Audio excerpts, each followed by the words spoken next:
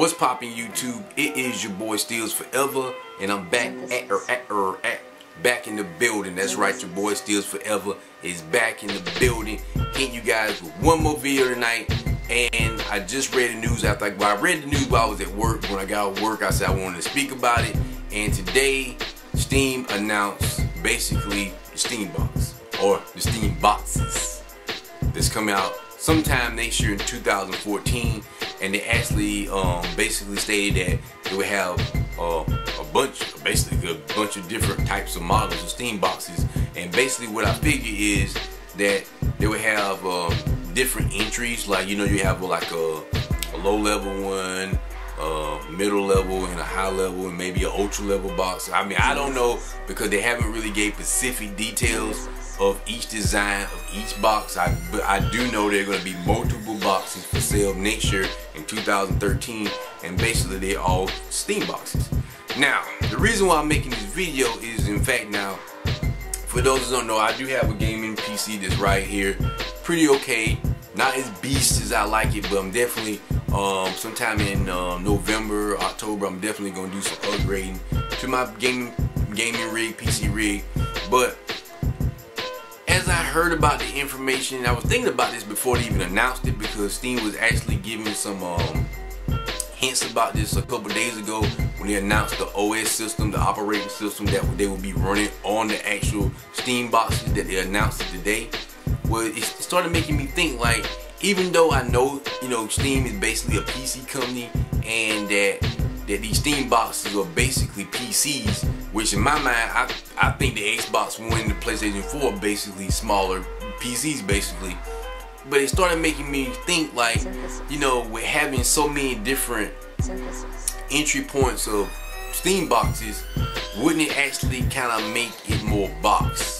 If you get what I'm saying, like, like we all know when you deal with console gaming, it's box because of the fact the developer has the, design game within the the, the medium of what the hardware can do itself because you want the customers to actually be able to play those games on that specific piece of hardware that you're actually developing for.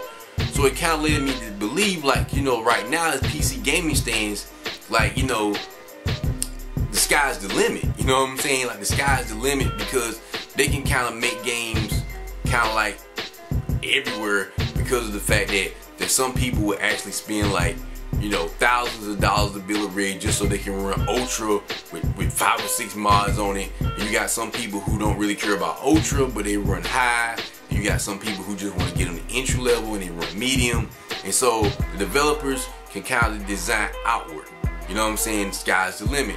But since that you know steam is kind of coming in and confining the box to say hey these are excuse me y'all, the boxes that we're making, not the box that you're building as, as the consumer, not the PC rigs that you know me and you guys are building as a consumer, but here's the game, the PC boxes, Steam boxes that we're designing as Valve.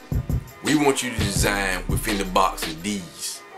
See what I'm saying? So it makes it seem like you know, PC gaming may actually suffer from this. You know what I'm saying? Like, especially when you start looking at um, the graphics and the effects and the, the actual uh, frames per second and things like that. And not saying they're gonna suck by no means, cause I'm pretty sure they'll still be very adequate and they'll look very nice.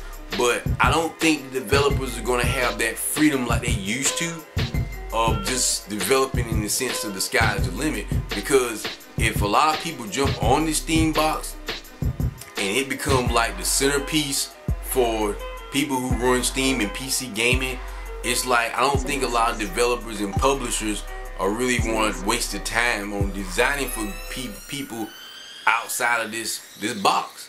You know what I'm saying? Like whatever the low end boxes to the high end box, I think they're gonna kind of want to stay within that box. Now I could be wrong.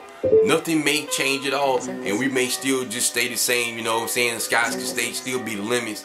I don't know. I don't figure you guys would know. I, I, don't even know if Steam knows or the developers knows. It was just something I was thinking about. You know what I'm saying? Like will games like you know like uh, PlanetSide running Ultra or Battlefield running Ultra. Will it suffer? You know I'm pretty sure Battlefield 4 won't suffer, but maybe like Battlefield 5 like you know, just like I'm saying, because they have to design within this box. And Will Steam actually pushed the idea to design games in this box so, you know, everybody can play it. Because you, you get what I'm saying because of the fact that if, if I bought a low-end Steam box, they would want most games to be able to at least play on these low-end boxes. That's the only way to sell it. The same thing is they want most games to play on the middle box, the middle to high, the high-end box, or even the ultra box. And the question would be, would they even make a box that would be like an ultra box for the ultra hardcore PC gamer? You know what I'm saying? And, and if they don't, where's that gonna leave um, some of you guys that actually spent a lot of money in, you know, having these really beast PC rigs? Like, are they really gonna go to waste because of the fact, or would this actually improve it? You know what I'm saying? Because this may even optimize PC gaming. Like, you know, I just said a little earlier, I think he could hurt PC gaming, but then again, it actually could help it because in the sense that it would mean that more developers would have to spend more time actually optimizing the actual games to run on multiple different types of PCs and these Steam boxes. Who knows? I don't know.